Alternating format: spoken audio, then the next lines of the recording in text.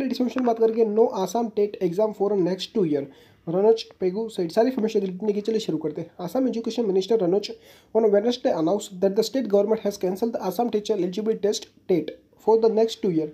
The decision to not hold Assam TET exam was taken due to sufficient number of TET qualified candidates in the state.